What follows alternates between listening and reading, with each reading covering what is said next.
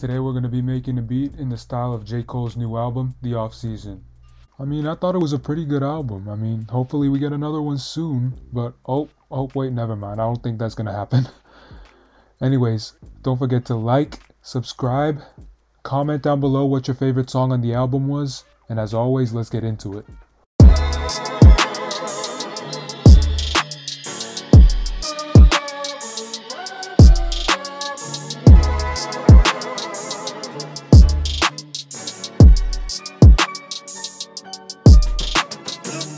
This beat was mainly inspired by the interlude track on the album. That beat has a crazy soul sample in it, and when I heard that, I knew I had to find the perfect, nicest soul sample I could possibly find. You know what? I feel like I did exactly that. I found this sample in the Flowers in Narnia kit, and when I heard it, man, I knew I had to do something with it. So I pitched it down by 450 cents, and I applied a chorus effect on it, and I also put an EQ on it to cut just enough of the lows out to where it wasn't muddy, but also just enough to where it wasn't taken away from the character of the sample. Because by taking too much of the low end out, you can take away from the overall character and feeling that the sample has, and you don't want to do that. So, with all that, here's what the sample sounds like.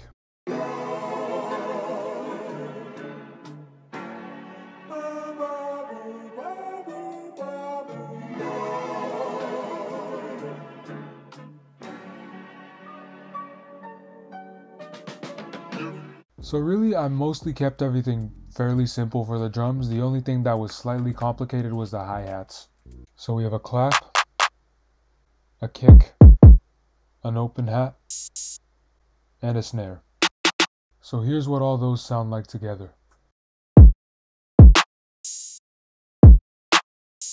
So for this hi-hat pattern, I made triplet hi-hats, which is a very different bounce than a standard trap pattern or two-step hi-hat. That along with the rolls in the hi-hats, if there are any, plays a very significant role in the overall bounce of the beat, which is why I wanted to highlight the hi-hats alone.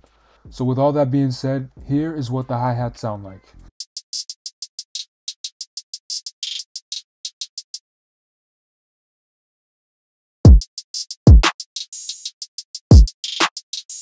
So for the bass, I wanted something more subtle. I knew a loud or distorted 808 wouldn't really work with this type of beat. So I used a sub bass that was more low key. Here's what that sounds like.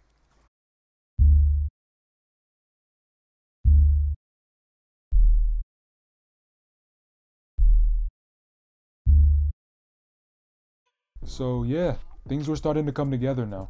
But I still felt like something was missing.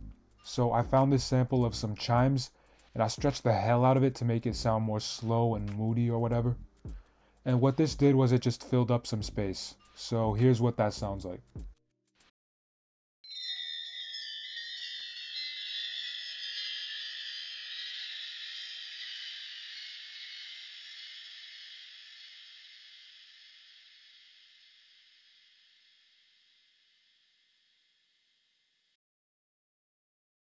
So for the arrangement, we had an intro, an 8 bar hook, a 12 bar verse.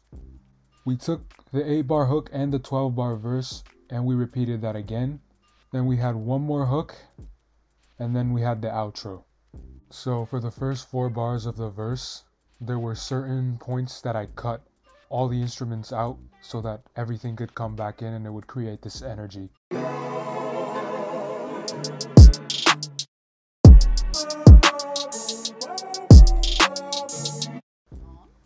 So I did this one more time right at the end of the first four bars of the verse. And then afterwards, I brought everything back in. I brought in the chimes, the bass, I brought in the drums, and this time I pitched the sample up by an octave.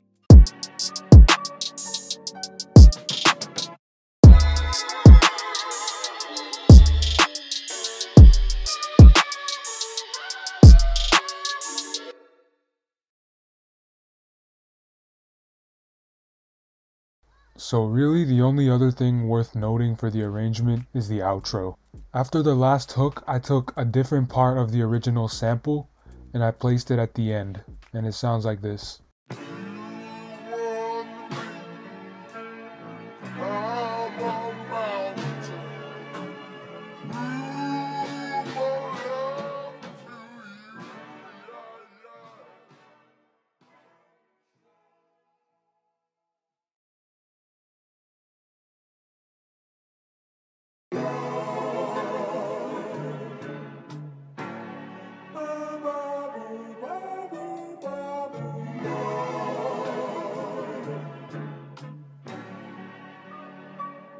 John, John.